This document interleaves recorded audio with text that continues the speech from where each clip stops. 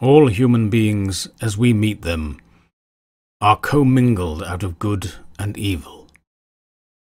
And Edward Hyde, alone in the ranks of mankind, was pure evil.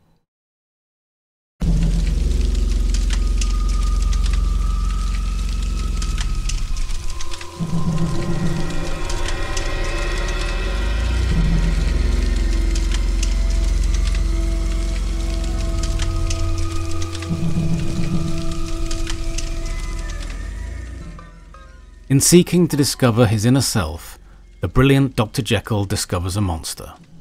The Strange Case of Dr. Jekyll and Mr. Hyde is a Gothic novella by Scottish author Robert Louis Stevenson, first published in 1886.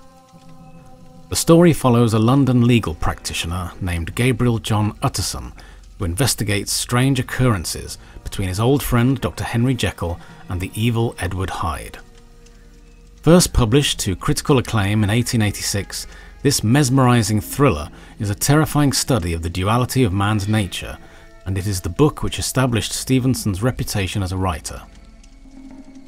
The book was initially sold as a paperback for one shilling in the UK and for one penny in the US.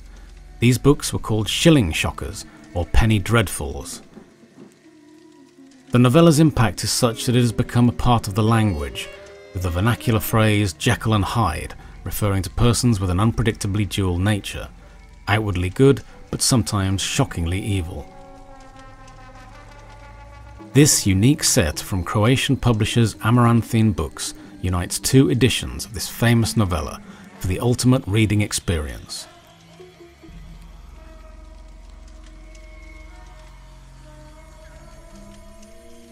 The Jekyll edition is inspired by the kind character of Dr. Jekyll, pure, clean, with white covers and silver page edges.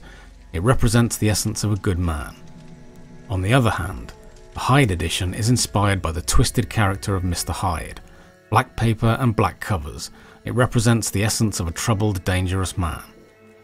Both books have handmade slipcases and feature 12 illustrations spanning several important events in the book.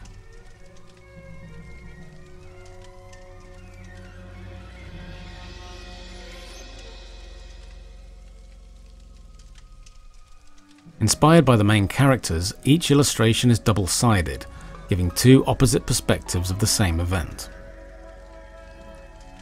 Both books are the same content-wise, they differ only by the mood set by the character they were inspired by, providing a unique reading experience depending on which is chosen first, or if they are used interchangeably.